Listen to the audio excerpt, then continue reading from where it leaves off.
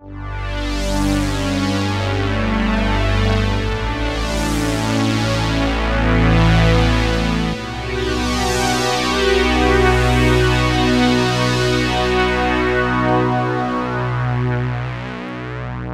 folks, recently Moog reissued the Minimoog Model D with the eye-watering price of $5,000.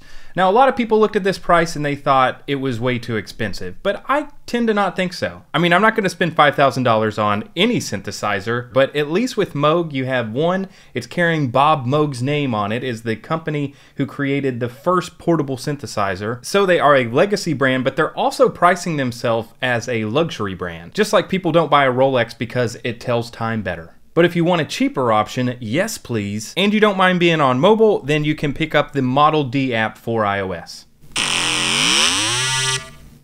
Not bad. Okay, but on to the subject for this video, why buy when you can build? Today I'm going to show you how to get started making your own synth pad and for this I'm going to be using the Logic sampler but you could really use anything. Surge is a great open source option that is cross-platform that might be worth checking out but the principles are the same for both. To get started we're going to need a wavetable file and all the wavetable file is is a single cycle of a waveform. There is open source software that I'll go more into depth later on like WaveEdit to create your own wavetables but we're going to use Adventure Kid waveforms. It is a large public domain collection of a whole bunch of different waveforms. All right, so now we'll jump into Logic and we'll create a new project, a new Logic project. And it doesn't matter what kind of instrument we select because we're just going to drag a sound in here and we'll create our own sampler instrument with it. So I've navigated to the Adventure Kid wavetable files and I'm going to drag in the first saw. If you drag it over here, then you can go to sampler zone per note.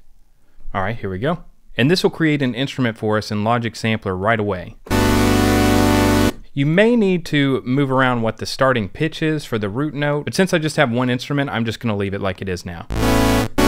So this is great that we have an instrument started, but now we want to start making it sound a little more interesting. This is basically our oscillator section, and what I'm going to do is I'm going to duplicate this sound with just copy and paste, and pan one of them to the left, my microphone's in my way. And the other one to the right. Then I'll detune both of these sounds slightly and it's gonna make a thicker sound overall. So the left side I will make 0.05 and the right side we will increase by 5 cents. Turn it down a little bit just to compensate.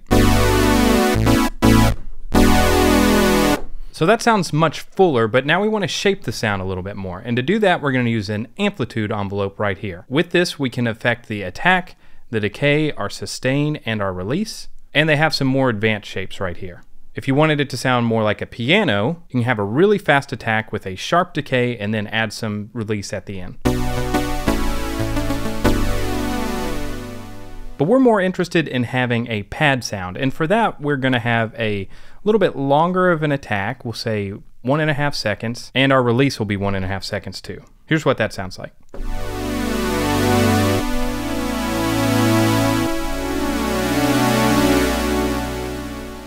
It's already starting to sound a little patty at this point, but we want to add a filter to it. And so here we have a low pass filter where we can set our cutoff and our resonance. This is what the cutoff sounds like changing.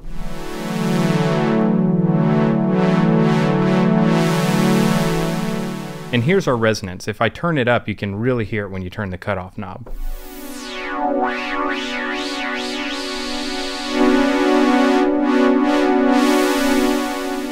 So now in this mod matrix, what we want to do is we want to use this envelope and have it act as a second envelope, but instead of affecting our amplitude, we're going to have it work with the filter. So I'm going to slightly mimic the same shape that we have here, but I want it to continue moving. So I'm going to give it a little bit longer decay, and then we'll add our release here.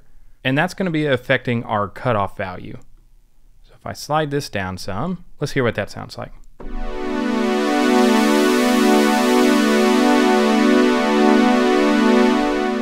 And that just gives the sound some more movement whenever you're sustaining a chord. But even at that, once you reach the end of this decay, the sound becomes kind of static. So to keep it moving, we're going to add a second LFO. A LFO is a low frequency oscillator. I don't want to change this one that's already here because that is what is affecting our mod wheel.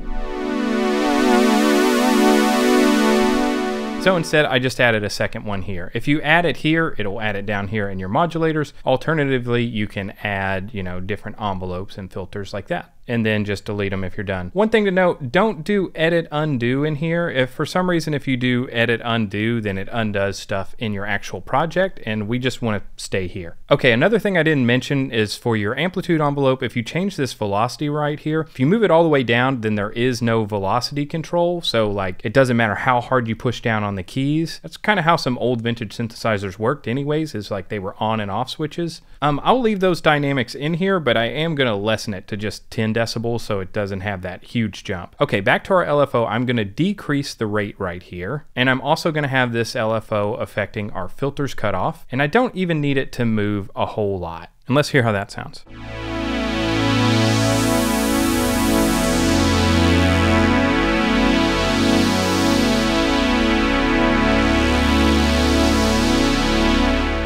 Just so that you can hear the movement, I'm gonna increase that rate for now.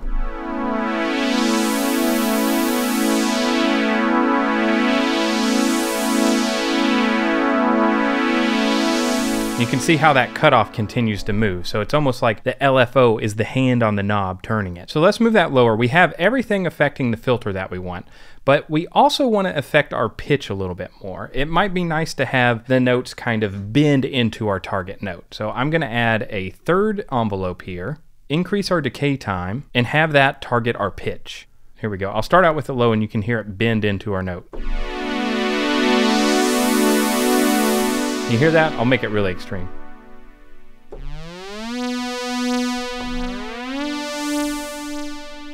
But I like it a little more subtle, so it's almost like a tape effect.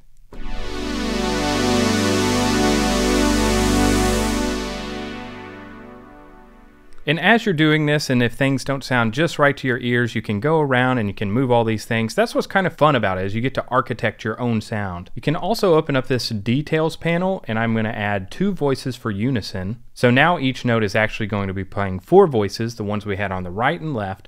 But the reason I'm doubling it here is you can also change a random detune amount. So I'll do that for say five cents. And let's hear how that sounds. I might have to lower the volume again.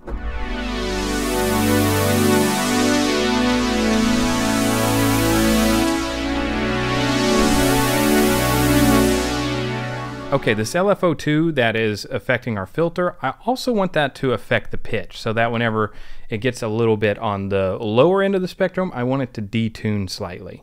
All right, so you'll notice here the only thing that we are using are really these envelopes and our LFOs, and those are affecting either the pitch or the filter's cutoff value. And we have a very basic amplitude envelope sound. And so putting it all together, this is how it sounds.